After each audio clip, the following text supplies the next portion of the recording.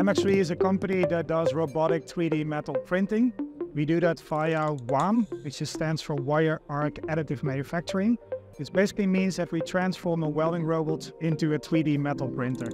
We use wire arc and we use additive manufacturing with that. With WAAM, you can print medium to large metal parts. And one of the huge benefits of WAAM is that it's much faster, cheaper, and you can really go bigger if you want to. As you can imagine, there are quite some industries which not only use smaller metal parts and want to get a 3D printer, there are a lot of parts that are medium to larger uh, sized. A lot of them are being casted and forged quite remotely and or being fabricated by specialty welders, for instance. And WAAM is really a technology that can crush that lead time to uh, multiple hours even sometimes or days. And really, instead of doing it subtractively, do it additively. So from a material point of view, that's much more interesting. So next to being faster and bigger, you can definitely also go cheaper with WAAM.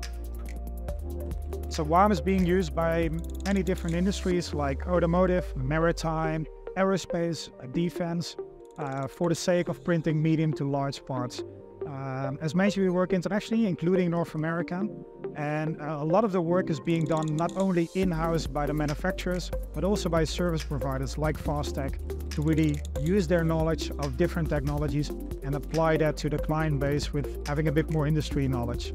Because uh, in the end, it's all about the application and the quality of printing that application.